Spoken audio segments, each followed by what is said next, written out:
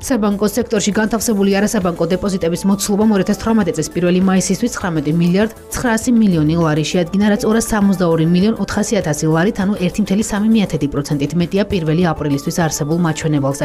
ეროვნული ბანკის მონაცემებით აპრილში წინა თვესთან შედარებით ვადიანი დეპოზიტები 231 მილიონ 100 ათასი ლარით, ანუ 1.9%-ით, ხოლო მოთხოვნამდე დეპოზიტები 31 მილიონ 200 ათასი ლარით, ანუ 0.4%-ით გაიზარდა. ამასთან სებისმიერ ვადიან დეპოზიტებზე საშუალო წლიურმა შეწონილმა საპროცენტო განაკვეთმა 5.1%, მათ შორის ეროვნული ვალუტით განთავსებულ დეპოზიტებზე -8.2%, ხოლო უცხოური ვალუტით განთავსებულ დეპოზიტებზე -2.8%-ი შეადგინა.